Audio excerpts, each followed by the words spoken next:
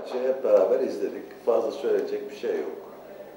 Yani böyle gol yediğin zaman oyundan düşüyorsun. Psikolojik olarak düşüyorsun.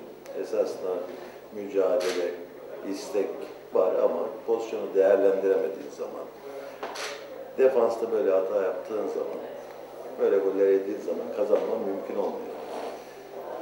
Hep yukarıya mücadele etmek istedik. Ama belli oldu ki artık bizim tek yolumuz var. O da kupa. Bundan sonraki bütün hedefimizi, çalışmalarımızı kupaya vereceğiz.